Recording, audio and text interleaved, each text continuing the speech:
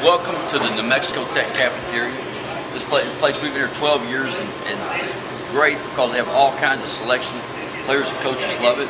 In fact, Dawn Hearn, our athletic trainer, told me yesterday that we have less injuries here in Socorro because she thinks the players that eat such a good, have such a proper nutrition and eat plenty of food here that, that helps alleviate injuries.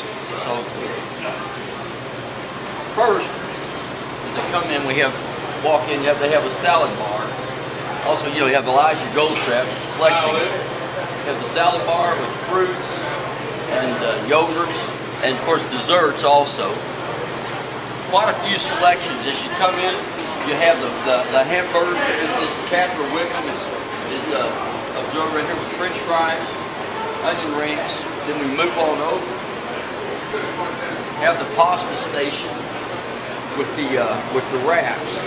Wraps have been very popular. I found out, and I kind of like this because as we go through the year, I kind of have a good idea what our players like. Have the wrap, pasta station. As Miss Wickham, now she moves over to the to the wrap station. Okay, now we go over. We have the sandwich sandwich bar. Consuela here is an expert sandwich maker. People can stop having sandwiches. Then we move over to the hot hotline. But before the hotline, every day they have all kinds of, of pizza.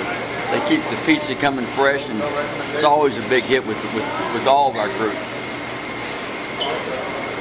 Come on over to the hotline. Today we have uh, sesame chicken, pork chops with rice, and then also we always have some more pasta over here. We have the, the stuffed shells and some uh, green peas and vegetables. Always, we always have the rice and beans and they'll play taco and fajita makings over here. This part. Normally they have fish. Let's talk about our chef here. The chef is, is came here from uh, New York City. He'd been a personal chef, chef, personal chef for Jerry Seinfeld and Donald Trump. Last month he worked Donald Trump at, his house. So got a wanted to get out of New York City, come to a smaller place, ended up in New Mexico Tech. Okay, come on, come on as we walk out into the to the area, eating area. Seats about 200 people, but uh, you have all kinds of juices. They do a great job having the Gatorade and the apple juice out. Have all the the uh, water milk back over the left. They also have an uh, ice cream station at the end. Really helps the players keep their weight on. Today we have four different stations, four different types of ice cream. Strawberry, vanilla, chocolate, and back here we have my favorite, coffee. The coffee ice cream. So, uh, great way we, we keep our weight up here at Camp Socorro.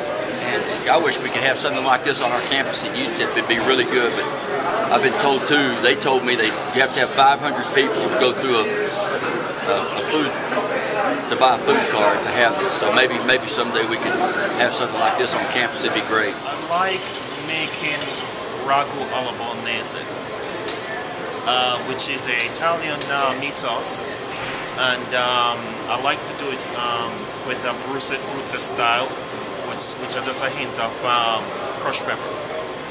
Um, I like it better because um, I used to work with um, this dear friend of mine, um, Anna Teresa Callen, which she's an Italian chef. She doesn't like to call herself a chef, but she's an amazing. You know, she makes food look super simple, and she's also a friend of Julia Childs. So it's pretty awesome.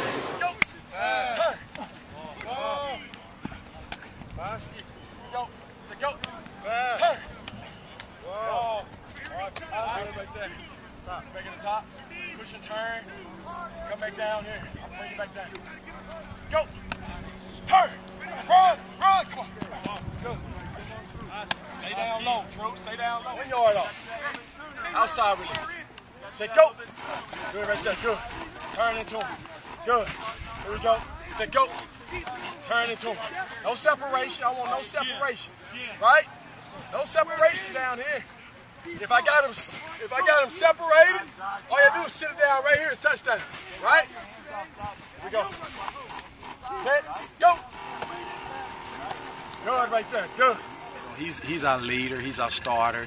You know, he's by far our best corner that we have on the football field. And uh, you know, he makes a play every day. He's very consistent in doing that. Around a, while, and he's another guy that's improved a lot. You know, uh, and he's gonna be, and he's he's right in there for that starting position. You know, it's up for grabs. So you know, whoever want it, they can have it. When he came over, he was the, you know, it, it was surprising how fast he learned, and uh, you know, he just got better every day, every day. Uh, in the weight room, got faster, got stronger. I mean, he's very committed uh, to being the best Okay. football player that he can be. He is just a play maker. The ball is in the air, it's his. He's a very physical tackler, really good tackler, really smart. You know, he's just an unbelievable, you know, competitor on the football field. We all had experience because we was backing those guys up. But, you know, we just stepped up in the place. That's what it is. When we got depth chart, we just step up and take over. with a lot of injuries and just other things, and it just feels good to actually step up and get some playing time. I only played running back in high school, but yeah, I came in as a receiver and then probably like right after camp they moved me to DB as a freshman. So it was a long process. I mean, it was slow at the beginning, but now I feel like I got the hang of it. Right now I'm starting, so hopefully going into the first game I'll do my thing and keep that spot.